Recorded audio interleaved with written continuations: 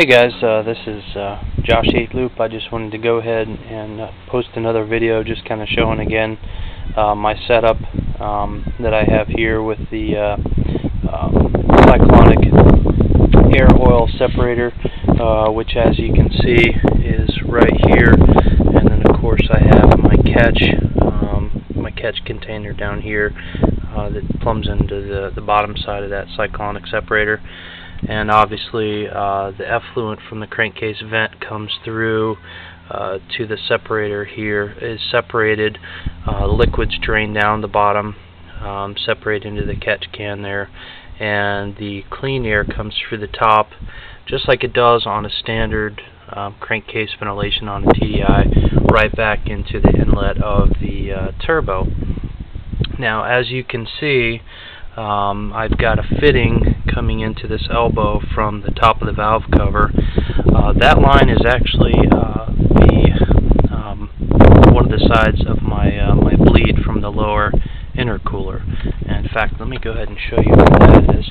Basically, what I did, uh, like I mentioned in the thread, um, just so I didn't have any issues with uh, oil um, building up in my lower intercooler, I went ahead and put a drain which is in the bottom of the intercooler about where my finger is. Kind of hard to see, I really can't get under there, but there's actually a line um, that you might be able to see.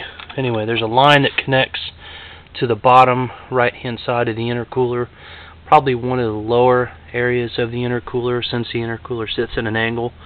I uh, chose as close to the lowest spot as I can get, that way any accumulated oil, even a small amount, will be uh, picked up by that little drain. It's about an eighth of an inch inside diameter tube and I have a little fitting that goes into an eighth inch MPT um, fitting, quick uh, disconnect fitting down there. Now that line comes up through the uh, fender area and actually is this line here that uh, it's actually a Teflon line, that whitish blue line right there and that line of course continues on and it enters into this wire loom right here on up and around. It goes through the wire loom kind of hidden and you can see it uh, you can see it exit right here and it goes underneath here and you can you can follow that right on up and any air and oil that comes out of that line actually as you can see as I showed you earlier comes into this elbow.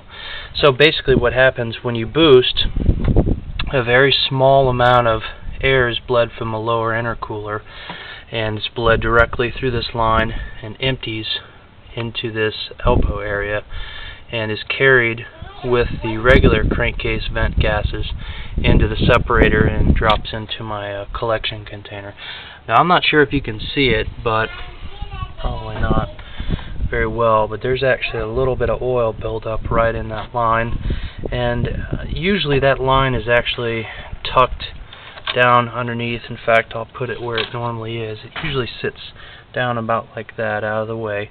Uh, but a lot of times I look and I see just a little slug of oil uh, sitting in that line. So, you know, obviously just from keeping a close eye on it, it's definitely apparent that it is carrying a small amount of oil from the lower intercooler and depositing it right into this line and of course and then it's filtered on out. So, you know, as I mentioned in my post earlier, there's two parts to this oil separation. Um, obviously the cyclonics uh, portion and the lower intercooler bleed.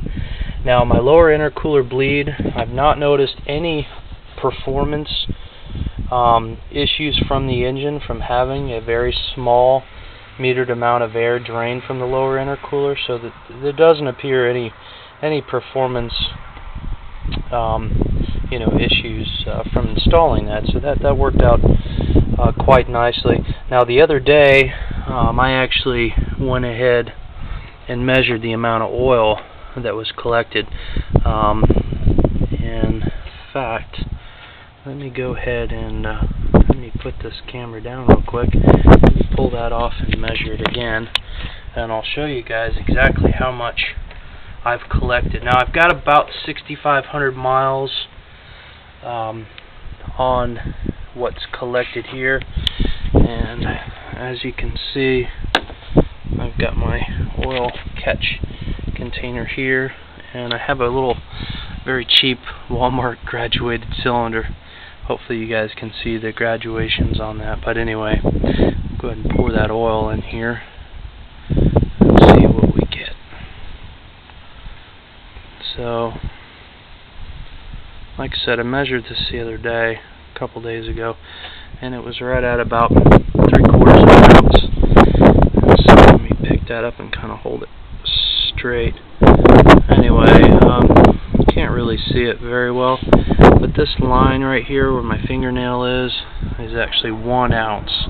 So it's a little bit below that. So I'm guessing in a 10,000 mile uh, interval, oil change interval, I'm anticipating with the current configuration of the system, um, if it continues like it is, it's going to separate about an ounce of oil. Now, these lines are relatively short, and I've got a, a nice cover that goes on my engine that really helps to hold the heat inside that area, so I don't have as much condensation issues of uh, you know water uh, moisture being separated out from the crankcase ventilation um, area and dropping into my catch can. So some guys might say, hey, I get a lot more fluid separation than you do, um, but one thing to keep in mind is a lot of those guys have an elephant tube that's real long.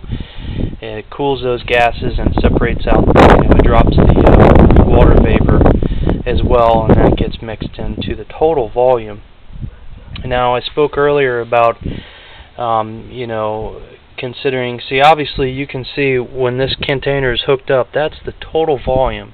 That's the volume from my lower intercooler bleed plus what comes out uh, from the uh, crankcase vapors. So that's the total volume. Now, if I had a container like I do here, and I put a separate container in series with this little bleed, I would have my volume for my lower intercooler that I could uh, I could look at, and I would have the volume that's collected by the uh, crankcase, uh, the cyclonic um, CCV air oil separator. So that would kind of be an interesting diagnostic to uh, to be able to look at to get some good feedback on what's coming out of the lower intercooler versus what the cyclonic separator uh, pulls out. But so far, man, this thing is uh, this thing's just working great. I'm really pretty pleased at it. Um, I mentioned also earlier in my videos uh, about a week ago I took uh, my uh, rubber uh, P-shaped hose off here. Normally, when I take this thing off, um, I'll see a nice oil film on the inside. And the last time I took it off, that thing was just as dry as can be. So that's telling me that obviously uh, I'm not having near as much or hardly any oil come through, uh, you know, this intake plumbing. And so that's a good thing. Obviously, uh, it it won't mix with the um, EGR uh, particulates that are uh, that are coming through. So so far this thing is uh, working really well, and I mean from from what I've seen, um, you know I would I would recommend uh, a setup like this. I mean, there's no need to spend hundred dollars or whatever on some other type of system. Um, I went to Autohaus AZ, and I think I gave like thirty, uh, like thirty-three bucks or something for that separator, which was from a BMW. Um, the hose I got, uh, I think it's three-quarter ID I got from Napa. Um, you know, that hosing probably cost maybe like 10 or 15 bucks for uh, a few feet of that. Um, the the uh, elbow right here, uh, that thing was probably about three or four bucks. But honestly, you don't have to go through the expense. I got the nice tubing that was uh, cloth covered just to help, um, you know, keep things looking uh, more stock. In fact, it looks pretty nice when I have it all buttoned up and so forth. So with my engine cover and all that, you know, it, it has some, you know, somewhat of a stock appearance. Eventually, I'd like to figure out a different way to mount that, but for now, that's just kind of hanging, hanging at, and it keeps it nice and secure. But it doesn't look too bad. Um, you know, it's very functional, and uh, I'm real pleased that it's uh, it's worked really well. So anyway, I wanted to go ahead and show you guys the lower intercooler bleed um, that has a quarter inch ID line that connects the lower intercooler to my elbow like I showed you on the top of the valve cover that uh, allows a very small, very small amount of air to bleed through there which carries any uh, oil that's accumulated out of the lower intercooler. So obviously that helps to uh, eliminate or stop completely the possibility of of uh, that engine running on any collected oil that, that may come up through that intake air. So I'm uh, pretty pleased that it's uh, working so well, and at least I know I don't have to worry about a, a runaway condition happening. And uh, I think it looks pretty good if I don't say so myself as far as the installation. It worked out pretty well, and I'm sure you guys are uh, real creative, so you guys could probably come up with something even better than I have. Um, but you know, someone's got to uh, blaze a path a little bit here. So anyway, all right, enjoy. Catch you guys later. Bye.